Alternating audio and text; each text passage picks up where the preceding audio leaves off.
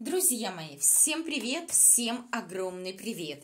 Ну что ж, у нас с вами сегодня очередной обзор на канал «Семья Колесниковых», мои хорошие. Будем с вами обсуждать некоторые интересные моменты. Напоминаю вам о том, что у меня появился телеграм-канал, ссылочку на него я обязательно закреплю в комментариях. Ну а также своих хороших и добрых зрителей я хочу поблагодарить за ваши лайки, за ваши подписки, за ваши хорошие, добрые, веселые, интересные комментарии. Ну что, ребят, после того, как Светка вчера выложила свой лазарет, да, в котором находится и она, и, собственно, все ее дети, конечно же, волна возмущения прокатилась по многим зрителям, да, но очень многие высказывались, так скажем, достаточно в такой категоричной форме, вот без этих Светочка, Лешечка, знаете, вот туда-сюда и так далее, вот не могли бы вы все-таки вот заниматься там своими детьми, их здоровьем. Нет, я абсолютно не так высказывалась в своем обзоре, и я все объяснила, все расставила по своим местам, да, все разложила по полочкам, все разжевала. А, ну, были и такие, конечно же, да, ну, в основном, конечно, все мои зрители меня поддержали а, в комментариях, но были и такие, которые вот эти, знаете, припадочные бегают, корчат из себя таких святош, да, а вот э, есть другое мнение, да мне плевать, какое мнение есть у вас, да, другое мнение, не другое мнение, причем тут ваше другое мнение, да, я свое мнение высказываю в своем обзоре, все его высказывают в комментариях, я его высказываю в обзоре и делаю обзор увиденного и услышанного, я не собираюсь в угоду кому-то опять же лицемерить и говорить о том, что да, это нормально, да подумаешь, господи ты, боже боже мой, да лежит там этот ребенок, да, больной, с кучей болезней, который родился, которому только-только исполнилось 6 месяцев, и который просто брошен, как говорится, и нафиг не нужен мамаша и папаш. На кой черт вы тогда рожаете этих детей, если они вам сто лет не нужны?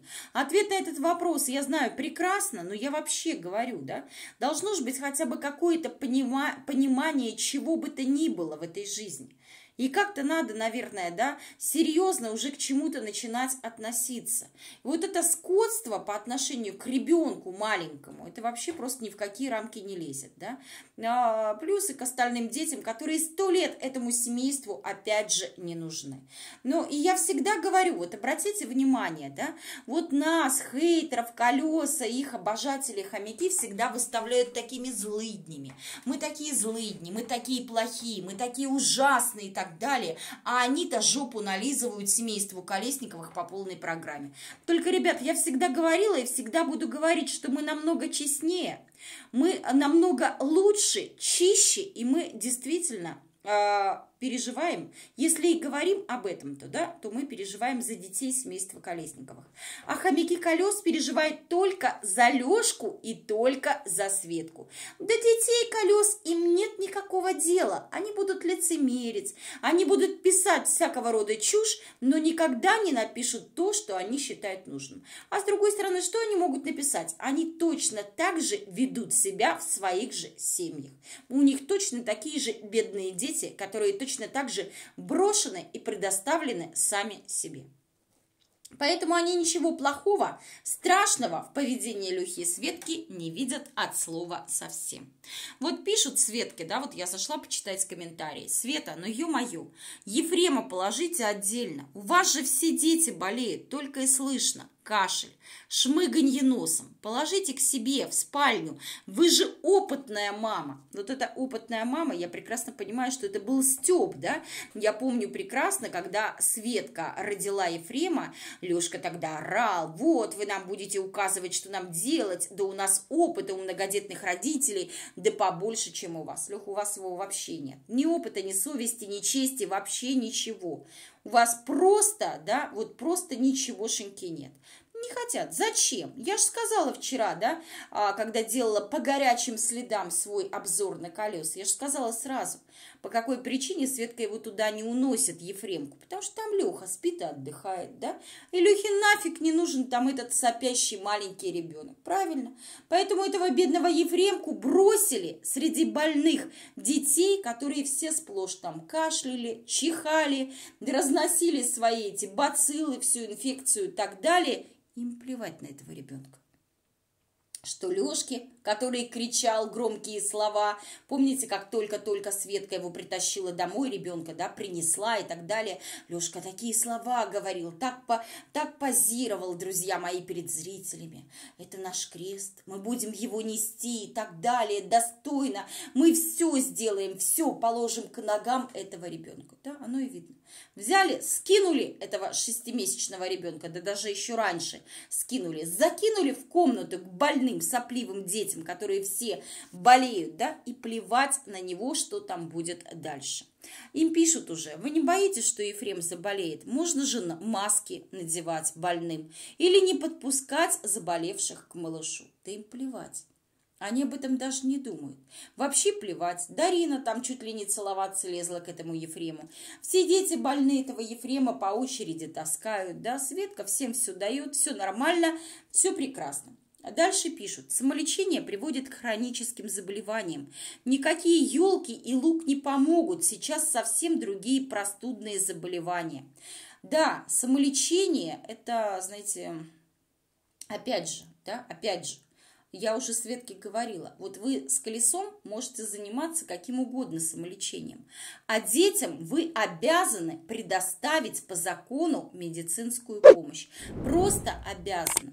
Они уже довели свою Анжелку до того, что занимались самолечением, пока у Анжелки как раз-таки, да, вот этот вот менингит, друзья мои, и все последствия, да, плюс все остальные дети, здоровьем которых они точно так же не занимались. Та же Виталина дышать нормально носом не может, у нее огромные проблемы, да, у Дарины свои проблемы, у Насти свои проблемы, у Никиты огромное количество проблем, у Анжелки, да, у всех детей есть огромное количество проблем, благодаря таким родителям. Ну вот Светка молодец, вот как ни крути, не могу я, ребят, спокойно к этому отнестись, да, она говорит про самолечение, да, только тогда, когда надо лечить своих детей, да, тогда она там и лук, помните, там капли, да, делала там всякие разные, там с помощью лука репчатого и так далее, да, а вот не хотят детки так лечиться, конечно, ты какое-то говно сделала, они должны хотеть. Ну, как только ее петух жареный в задницу клюнет, так Светка сама бегом бежит к врачу, бежит в поликлинику, покупает себе медикаменты необходимые. Лешка вообще на себе денежки не экономит, да, всегда покупает себе все самое лучшее. Что-то как-то они, вы знаете, в этот момент, когда сами захворают, про самолечение у них даже близко речи нет. Вот Светка заболела, обратите внимание, понеслась она тогда в поликлинику. А до этого, пока болела Настя, другие болели, она сказала, ну там приходила врач смотреть Ефремку, ну и Настю заодно посмотрели. Ну да, так заодно, да. И потом, это только то, что она сказала. Ведь нет никакой гарантии, что Настю кто-то посмотрел и кто-то послушал. Ну так, опять же, на минуточку, да, даже хотя бы послушать просто. Я уж не говорю про то, что съездить, там, сдать анализы, сдать, сделать рентген, да, и так далее. Далее. Далее пишут ей, Светлана, вы маленькому ребенку даете фуросемид. А, смотрите, его долго пить нельзя, теряется калий и магний. Еще раз проконсультируйтесь с врачом. Но видите, Светка на себя накинула доспехи Бога и считает, что она вправе решать, кому жить, а кому не жить, да? Кому быть здоровым, а кому хворать, да? Может себе позволить заниматься самолечением в отношении своих детей. О чем? А она всегда так делала. Ну, подумаешь, господи. Далее пишут вот этой вот горе-мамашки. Мама в шубе, дети в тонких кофточках. Да, друзья мои.